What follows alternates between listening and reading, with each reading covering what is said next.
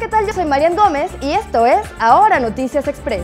La aspirante a la gubernatura, postulada por la coalición Unidos por Tlaxcala, Anabel Ábalos en Pualteca, agradeció las muestras de afecto recibidas luego de enfermar de COVID-19. Ya recuperada del padecimiento, a través de un mensaje que publicó en sus redes sociales, Anabel Ábalos dijo que está muy agradecida con todas las personas que han estado pendientes de su salud y destacó que el calor de la unidad es el más abrigador para el alma. En Twitter y Facebook, Ábalos Pualteca compartió. Agradezco con el corazón a todas las personas que han permanecido en contacto mediante las plataformas digitales y que ante toda situación han estado al tanto de la salud de su servidora. El calor de la unidad es el más abrigador para el alma. Sigamos trabajando. Tlaxcala Unida.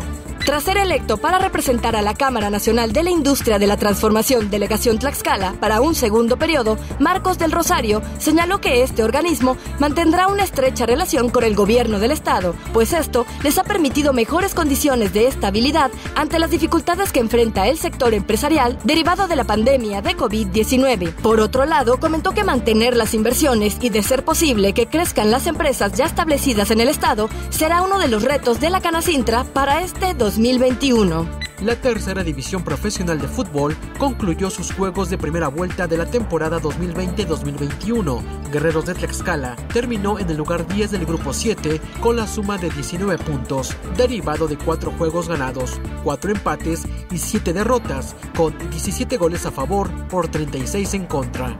Tras 21 días de naufragio, tres pescadores del estado de Guerrero fueron rescatados vivos por sus pares de Puerto Ángel, Oaxaca, confirmó la autoridad municipal. Los pescadores identificados como Víctor, de 42 años, Martín, de 66 años y Dolores, de 65 años de edad, fueron llevados a zona segura, recibieron valoración médica, alimentos e hidratación, posteriormente quedaron instalados en una habitación para su recuperación física y emocional. Según su testimonio, zarparon desde el pasado 12 de enero a bordo de la embarcación Nezaret de la bahía Las Hamacas Guerrero, pero las condiciones meteorológicas adversas impidieron su regreso.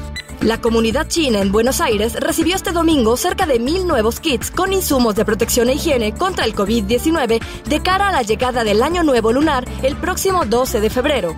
La actividad estuvo organizada por la Embajada de China en Argentina y el equipo de voluntarios chinos en el país sudamericano y reunió a cientos de personas en el icónico arco del barrio chino de Belgrano en la capital federal. Dentro de los insumos entregados figuran cubrebocas, guantes quirúrgicos, alcohol en gel, toallas sanitizantes y una medicina tradicional efectiva para la prevención del coronavirus SARS-CoV-2 en adultos mayores de 65 años.